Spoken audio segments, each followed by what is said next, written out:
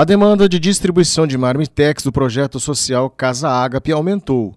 Além de moradores em situação de rua, famílias carentes também estão buscando alimentos neste projeto mantido pela Igreja Comunidade Cristã. Nós tínhamos uma distribuição interna dentro do restaurante de 50 unidades a 60 dias.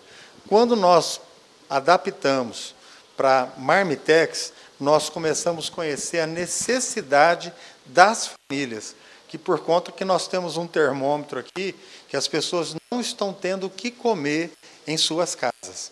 Então nós tivemos a necessidade de não só servir para quem busca, mas também para quem está na casa. Então normalmente uma pessoa leva duas, três, quatro marmitas de acordo com os seus, é, seus, né, suas casas, né, suas necessidades, mas são pessoas cadastradas, famílias que estão acompanhadas, que nós temos conhecimento se realmente necessitam ou não. As famílias que recebem os marmitex são cadastradas. Por dia são consumidos 20 quilos de arroz, quase 10 quilos de feijão.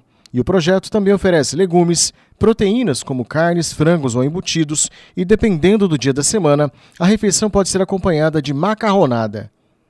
As marmitex são oferecidas de segunda a sexta-feira, a partir das 11 horas da manhã mas a produção começa bem cedo, a partir das 8 horas, pelas voluntárias Cláudia e Rosana. Nossa necessidade é grande, porque tudo que nós fazemos aqui, nós fazemos por intermédio de voluntariados. Os voluntários são as pessoas que fabricam, né, processam os alimentos e também aqueles que fornecem gratuitamente. Então nós temos aí colaboradores.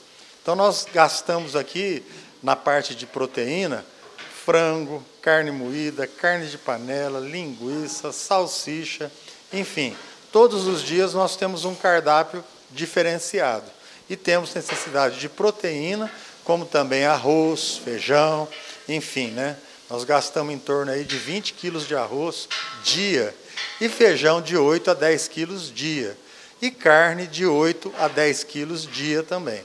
Né? Para manter as distribuições de marmitex, Pastor Fábio pede ajuda da comunidade em doações de alimentos não perecíveis ou proteínas. As doações podem ser enviadas no projeto localizado na Avenida Gonçalves, número 2155, no bairro Ucengenha. O nosso projeto aqui, o local, ele, nós temos aqui também um albergue noturno e temos também o um restaurante. Então, a partir das 8 horas da manhã, nós já temos as nossas equipes no local que são pessoas que estão aí preparadas para poder receber qualquer doação, seja refrigerada ou não. O endereço aqui é Avenida Gonçalves, número 2155, próximo ao Instituto Liceu Tec. 988 13 3572.